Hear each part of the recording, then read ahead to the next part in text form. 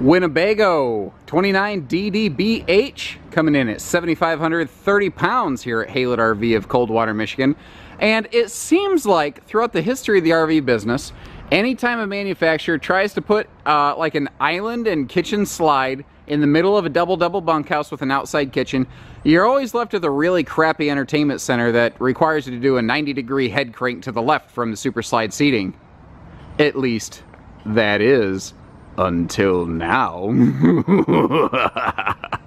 now, usually when you have opposing slides and an island like this, it'll pinch everything off and you can't really get to much. It's not very travel friendly. But you notice somebody had their thinking caps on here because we can get to the dinette. And they specifically built this thing so you can get to the refrigerator unimpeded in transit. Now, there's plenty of other storage, there's plenty of other things you can't get to. But two uh, really kind of important critical areas for travel accessibility and functionality are there, are available. So what's nice is if you're parked in a place where you can't open the slides but you want to pack up the fridge before you go, you don't necessarily have to open the whole darn thing up. But if you do nothing other than just open the kitchen slide, you can really get to anything you would need to pack the RV for, uh, you know, your, your next trip that you're going out on. Or unpack the RV from the last trip you were on, as it were. But this right here, this is what hooks so many people on a layout like this. They, you know, when you add that kitchen slide, even with the island in the middle, what you're left with is just this huge sense of open negative space. This RV feels enormous inside. Even though in truth it's really not much bigger in terms of living area. It just it's big and open and it feels awesome that way.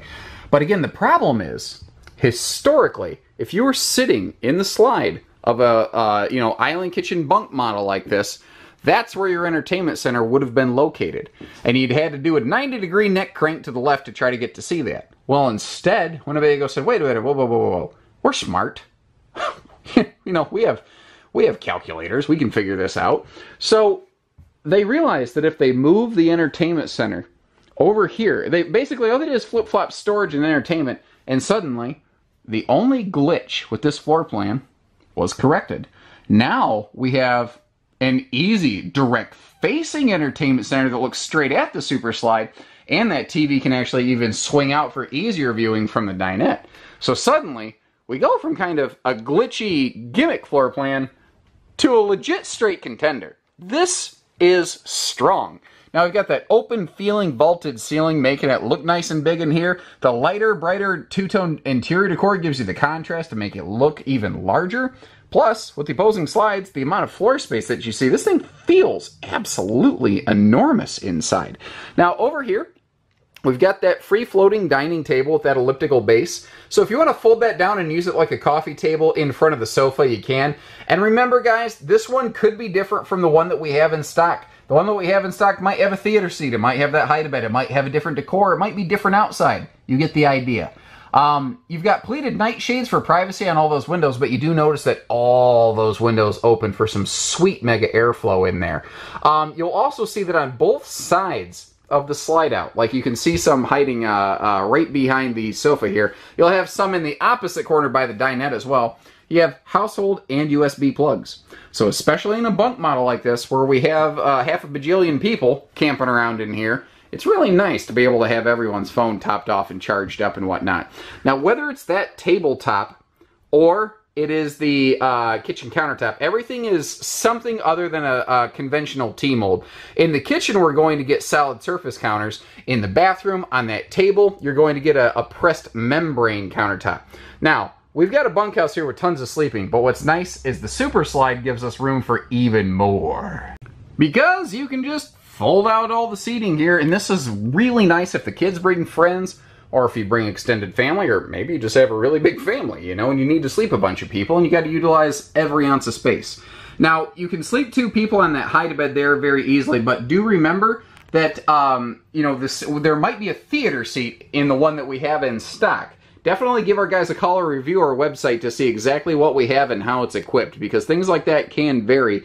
Although we do try to keep the pictures on our website always up to date and our, and our guys are happy to double check and walk out and physically verify for you. Now what I would like is if folks, if you would leave uh, some comments in the video description you know, what kind of seating would you prefer? Would you prefer the theater seat right there? Would you prefer the hide a bed? And, you know, kind of understanding why I think would help quite a bit. Now, note something right here you don't see very often. You know, in the main bunks, you've got a bunk ladder included with this. How nice is that? That's something that previously I had only ever really seen Rockwood doing on a consistent basis. So, uh, you know, seeing that extra attention to detail there from Winnebago, that's, I, I, think that was an awesome thing that they did right there so that you don't have to, you know, heave the kids into that upper bed. Now remember that table's free floating, so like I said, if you want to kind of kick it over, make it like a coffee table, you can. You know another thing that's cool? Whether it's in coffee table mode or in hide-a-bed mode, did you notice how the sofa never really blocks the RV off? That is one of the nice things about the island floor plan, is that you have another way around the island. You also have awesome storage built right into the island. And that is one thing this floor plan does do well. It has a lot of storage. It also has easy reach power outlets. And that's something that a lot of kitchens and RVs, especially laminated RVs, don't do well. This has a very well executed kitchen. Great wastebasket space in there. Kitchen has solid surface countertops. It has a recessed stainless sink that is metallic uh, faucet hardware right there. You know, they've done a very nice job over here. Also, uh, in the main slide section of the uh, kitchen area, you can see that you've got more of those easy reach appliance outlets. Now, they extended the kitchen slide here. This is longer than many kitchen slides. You can see how it actually goes all the way over here. So, you know, it starts with the 8 cubic foot fridge, and then we, uh, you know, move on to the stove. But notice how much room is between the stove and the microwave. When they extended that, they created a big chunk of extra countertop space with a whole lot of drawer space below. Blam! There it is just explodes right out at you. Even a full drawer below the oven. You know, they put a lot of plywood in this slide. You know, there you could find a lighter weight version of this camper. Are you willing to give up a lot of those nice plywood drawers that you looked at there? You know, little things like that make a difference. Materials matter, ladies and gentlemen. So here's a look at that TV in the pivot out position, and there is some storage space behind that as well, as well as a big pocket above. Um, now, the uh, TV, obviously easy viewing. Below that, we have a Jensen uh, DVD uh, Bluetooth system, and you can get the J Control app on your phone to be able to operate that from your Android or iPhone if you're so inclined, and that is free, thankfully. I love anything that has the price of free associated with it. It's hard to beat. You know, I've just I've just really found that in my life. I don't know why. Electric space heating fireplace, also very nice. Um, mm, I think that's standard actually in this floor plan. This this floor plan has a couple little oddball features about it you don't tend to find in the rest of the Minnie Plus lineup. But it also has a lot of consistencies with the rest of the Minnie Plus lineup, such as having fully framed out doors. Now, in this case, the bathroom door is really the only one, but you notice it's fully framed so that this door, it, like the jacks aren't down. This thing's probably not perfectly square, but it still opens without a hitch because stuff maintains its shape. And this is a well done bathroom. Um, they've been taking notes. I, I think that there's an above average chance that the guy who designs the Minnie Pluses down at Winnebago has been cyber stalking a lot of my videos because it, I swear, either that or it could just be he's really sweet at what he does, which is also very possible. But uh, if you take note, it's like anytime I walk through uh, a, a nicer upper end camper, something that might compete with a Winnebago product, it's like very shortly after, I seem to find those features incorporated into the Winnebago RVs, like the dedicated linen space in the bathroom, the vaulted ceiling plus the skylight and that radius shower for tons of elbow room. Those are great, great features right there. Also, porcelain stool and no heat vents in the bathroom floor. Have you noticed that? There is a cabinet heat duct to uh, get there another way. Now, over here, again, more of a material premium RV. These Winnebagos, maybe not always the, the hottest sizzle but certainly one of the best built things you could ever purchase in this category. Like the better countertops in here, just like we saw on that tabletop, the nicer stainless sink that we see in here, you know, that's like that's kind of a trickle down factor from the Winnebago motorhome mentality. You know, obviously when you think of a lot of times when people think of motorhome, customers will actually come in and they say, Where are your Winnebagos? And they actually just mean motorhome.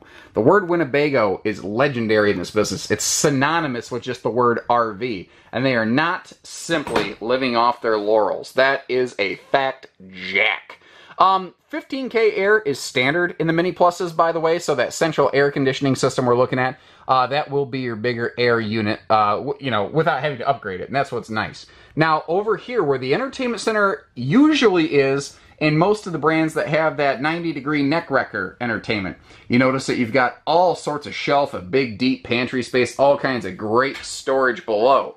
But right when you walk in the door, you have this interesting little corner pantry, and it's got some new electronics. Now, frequent viewers of our Haylett RV videos are going to recognize the In Command system. Um, very popular in the Keystone Cougar travel trailer series, and it's effectively the exact same thing. What's neat about this, guys, anything you can do on this, you can do on your phone via the In Command app. So I can get on my phone, I can turn on, off the water heater, different modes, run my slides, lights, all kinds of stuff right from here. But you don't necessarily have to do it from the panel or your phone. In the bedroom and that switch over there, those are main cabin light switches so that you don't have to go through and like individually click off lights or anything like that. Now, um, in this is the first time I've ever seen the in command brain on the inside of an RV. Not that I think that's better, worse, otherwise different, just an observation. So you take a look at this, and you're like, what am I looking at? Long story short, you can all the wiring comes into one central location. Also, if you don't feel like waiting for that panel to boot up, like I didn't want to wait to turn on the awning, I just simply turn this uh, switch to motor one, which co- apparently corresponded to the awning. I don't know that. I just discovered that through process of elimination. And I still have a manual button I can push to run slides, awnings, uh, stabilizers, I believe, might be able to function off that. So a bunch of cool different things you can do with it. And we do have a sliding pocket privacy door here for the bedroom. 60 by 80 residential queen bed so that bigger folks like me can stretch out and be comfortable. Dual side stands. You've got, you know, more household, more USB lights, more of everything. Dual hanging closets. Huge, deep overhead storage. I mean, really, in a way, the overhead storage, I would almost argue, is too big, although I don't believe any storage can ever really be too big, because it makes the rest of the bedroom almost feel a little bit small. But that's not all you have here. You also have an entire additional closet space over here with some dresser drawers below. Now you've got a handy little sort of like shoe garage right here. And technically, right now, you're in bed with me. I just want to point that out.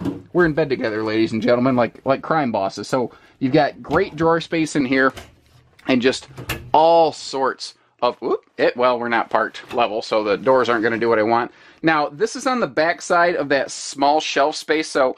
Uh, I really don't know what you would do with this because it is kind of a small, shallow area, but the fact is, hey, it's there, whatever. And you can see here, that uh, I mean you've got excellent huge closet storage space. So one of the things that's very popular in the Rockwood Ultra Lite series is an extra closet slide out for extra hanging storage. Well, they've basically done that here, but without the extra weight and cost of the extra bed slide. Instead, you're getting it in the living room, which is kind of cool. Now, if you have enjoyed being able to see inside of this RV, compliments of the lights in here, that's compliments of Mr. Scott McKinney, or Big Scott here at Haylett RV. I have a series of battery boxes I use, but after 20 new RVs arrived today, and I was burning up the camera, uh, you know, recording stuff like this all day, my boxes went dry, and he was kind enough to lend me his. So thank you, Big Scott. If you folks appreciate that, you like this trailer, maybe call, ask for him, because he's part of the equation here. That being said, back to the RV.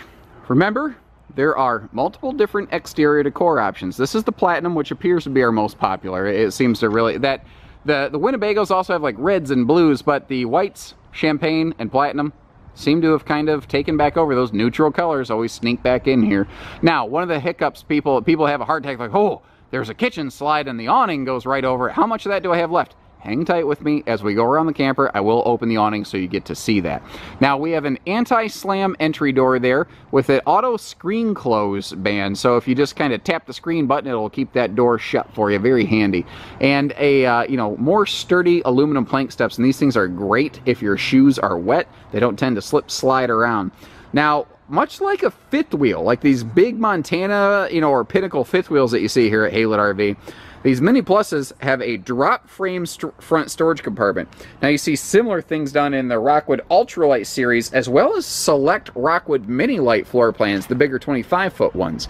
That is a monstrous amount of storage space. You'll also see that all of our doors have magnet holdbacks and nicer slam latches. So you can just drop it and forget it. Good to go.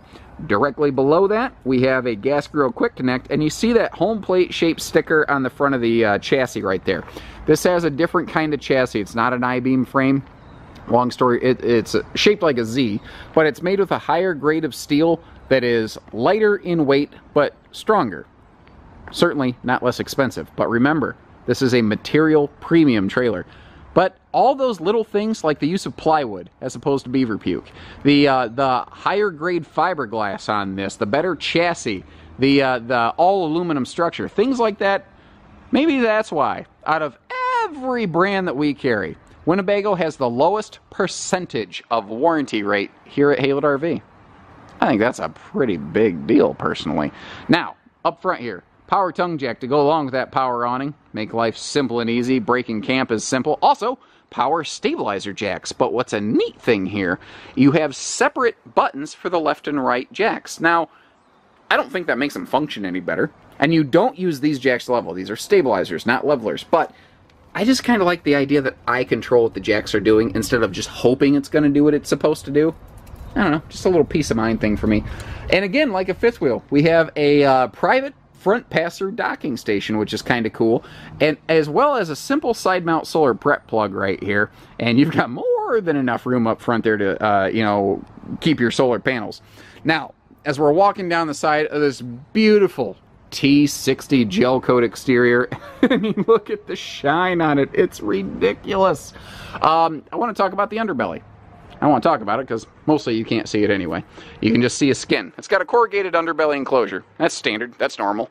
The Minnie Pluses have always had a heated enclosed underbelly, but uh, you now have the ability to add what they call extreme weather package, even though it, it doesn't, you know, I, I can't tell you it's going to guarantee you like zero degree functionality. They've never tested it, so I won't make a promise that I can't back up with data. But what it does it adds uh, layers of uh, heat reflective material in the roof, the nose, and double layer in the belly, so that, uh, and the rear wall, I'm sorry, a layer in the rear wall also, so that as the sun is beating down on this thing, you're reflecting heat instead of absorbing it. Or if you are going to go spring and fall camping, it'll help keep the furnace in the camper, which is kind of nice. Now, those windows you saw were all tinted. They all open for airflow, which is fantastic. You can keep the neighbors out, keep the sun out. By the way, if you pull those pleated shades inside, that is like literally double the effectiveness of these dual pane windows that everyone likes to call thermal pane windows. RV thermal pane windows are one of the biggest rackets in this business. I, I, obviously I'm very jaded on the topic, but if you just feel like parting ways with $1,200 to $2,000, I've got other things that we could spend on it that you'll get a lot more benefit from. Whenever there's a slide under an awning like that, it's like we're playing a game of Family Feud. It's like, you know, 100 people surveyed, top answer on the board is, um, how much room's left under my awning with that slide out? So, rather than just try to describe it to you, I thought, hey, let's just push the button. Let's open it up, let's show you. And the short answer is, plenty. There's plenty enough room still under that. It's not a super big, deep slide. Now, what's also kind of cool about that is it's organically casting shade on your kitchen slide. So you have a lot of cabinetry space there, which can hold a lot of heat. A lot of people don't think about that. Like if it's really hot when you get to your destination, open the windows, turn on the fans, and open the cabinets so that you can exhaust all the heat because those cabinets turn into little ovens. Little tip from your Uncle Josh. And I got that tip from viewers like you. Actually, that's one of the things I love about you folks is that we fostered a very nice positive environment. I love it when you share feedback like that. So the outside kitchenette door here is this big, long door, double magnet holdbacks, double uh, compression latches on that. Now, just like we saw inside, our countertop material here is uh, that press membrane stuff. But what's really nice is you have a real sink with a real drain that goes into a holding tank. It doesn't just kind of dribble onto the ground and it's not the dog dish. And you notice that you've got a nice little power outlet in there. So if you do want to have a little maybe toaster going, have a little, you know, pancakes and, uh, you know, toast bacon sort of breakfast, one, please invite me. But two, you're good to go. Now you do have outside TV hookups next to this kitchenette as well. There is LED lighting at the base of the awning, and the awning does have easy tilt arms here. So you just two finger tilt it, and then when you're done, same thing. It just pops right back up. But let's say I forgot to do that. Let's say I forgot to kick the awning back up. No worries. No worries whatsoever, because uh, this is a self-correcting awning. So, uh, you know, hypothetically, again, if I did forget to do that, it will fold itself up correctly just as you're pushing the button. So it's kind of what my wife would call husband-proof. I don't know what that says about us, but I know that I am lucky to have her. She tells me so.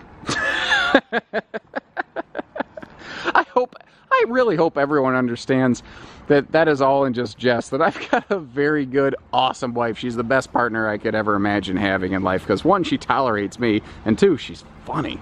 Um, so, we've got everything at ground level. Let's hop upstairs. And the biggest thing I really want to show you, unfortunately, something you can't see. It's something you can only experience if you see one of these in person. If you get a chance, if the place will let you, we will let you at Haylett RV, walk around on the roof one of these. And it is so sturdy, so stable.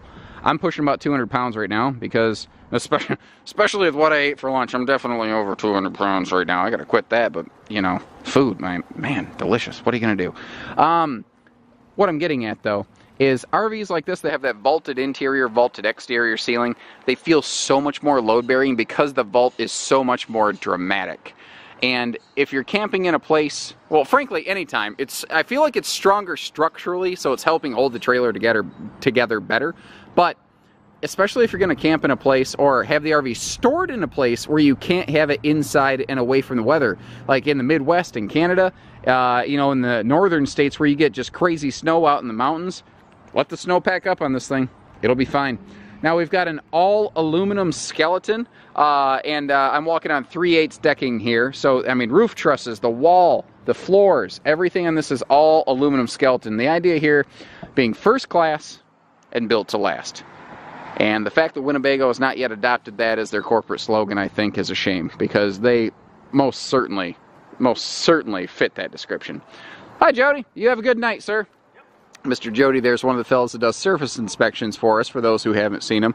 Before we accept any of these RVs here at Haylett RV off a new RV delivery truck, he checks stuff out to make sure that everything looks kosher on the surface, that, you know, we're not seeing daylight through slide outs or anything like that.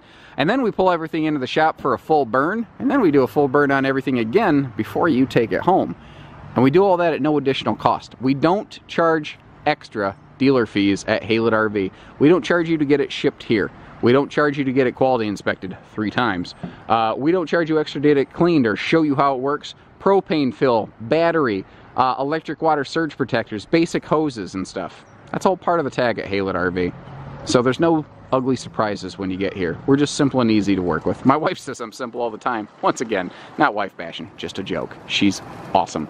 So take care. Stay safe, have fun, Happy camping, everyone. And with Jody leaving, it looks like, once again, I'm the last guy standing here at Haylett RV today. Have a good night.